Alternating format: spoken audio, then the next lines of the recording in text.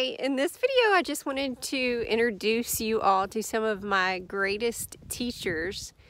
These are my kitties and I love each and every one of them in a special way.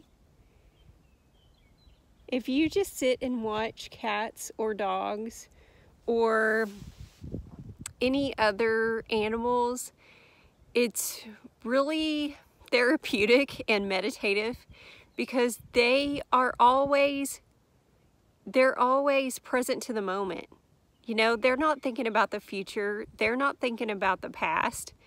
They're not thinking about anything except wanting to be loved and taken care of and to be petted and you know they're just they're so present to the moment which is what makes them so amazing because that is where we all need to try and be more is in the present moment instead of projecting our thoughts into the future which is just imagination or projecting our thoughts into the past which are just memories most of which we need to move on from and quit hanging on to and that is exactly what animals can teach us. Sometimes early in the mornings, I'll get up and I have an inside cat named Nina and I'll just watch her because she is just, she's just so sweet and she has such a good little cat energy about her. And, you know, she's just, she's sleeping or she'll get up and she'll stretch and she'll, you know, want to go in the kitchen and get her her food and get some water and then you know she'll play for a minute and then she'll go back to sleep and it's just so cool how you know this morning I was just looking at her and I was thinking you know you have you have no bills. Um, you know you don't have any kids. You don't have a husband. You have you know you have zero responsibilities except just to be exactly who you are whoever you want to be you you know sleep you play um, you know you you you're always in the present moment.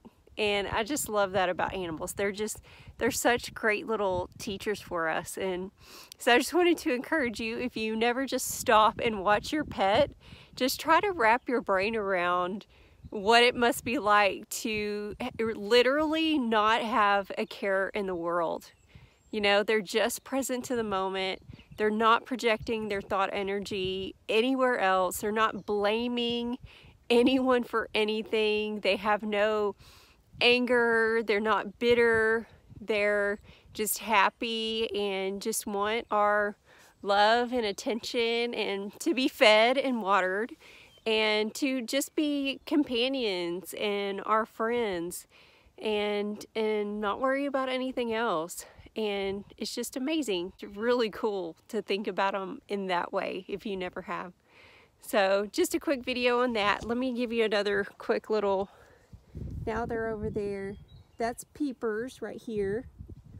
She's one of my oldest girls. She's about three years old. These are actually all my cats, all six of my cats are actually brothers and sisters. So you see them in my videos a lot. We had another one named Shelby and he actually got ran over. So we've been dealing with that loss and we've been pretty upset about it of course. Um, this is Harry right here. He's in a lot of my videos because he just is so lovable and he just wants me to hold him all the time. He just wants love. That is it. And this is um, Strider back here the darker black with the gray. And she is she's one of those she she was very lovable if you catch her in the right mood.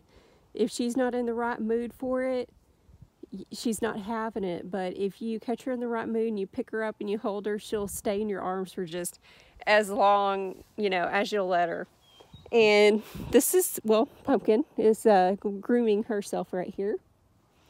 And we got gollum over there. See who's missing? Tiger Tiger is our big male cat and he is off somewhere asleep. I think I see him way off on the porch asleep. But we got some cows out here. Also, you can't see, but my hippie girl, my horse, is way, way, way out there. She is very social and she loves um, if we have other cows in the different pastures that surround us in the in the back of our home and um, if the cows come close to the fence she always wants to be let out so that she can go and communicate with them and it's really awesome because I can tell she's a a calf person. She's like a kid person but a calf person because wherever she gets by the fence it will always be the little calves that will be sitting there, um, you know, next to her trying to communicate through the fence or whatever they're doing. And I think it's so cool because you can tell they're communicating in some way. You know, we don't understand it, we, we can't see it, but they're communicating in some way because, um, you know, they'll just be right there with her. So anyway, here's Pumpkin. Hi, Pumpkin. Pumpkin is Peeper's sister the older set of kittens and then I have a younger set of kittens and they're the ones that their mother had passed away uh, from our neighbor's dog when we used to live in town um, when they were just little tiny kittens. So I've raised them literally they're my babies. I've raised them since they were tiny tiny. So another view. Oh pumpkin found something over there she's working on this area is kind of, we had a burn pile over here, so it's kind of in disarray. But anyway, there you have it. Just wanted to give you a little behind the scenes look, and I will see you on the next video. Meow! And this is Daryl. I didn't want to leave Daryl out.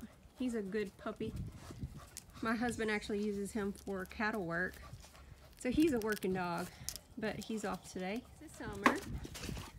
She's very old. She's a sweet girl. Summer, turn around so we can see your beautiful face. Summer! Aww. Sweet girl. here's Tiger. There he is. He's a good boy. He's a really good boy. Hi, sweetie. This is Nina. She was asleep on a laundry pile that I was working on earlier. It's My sweet indoor kitty.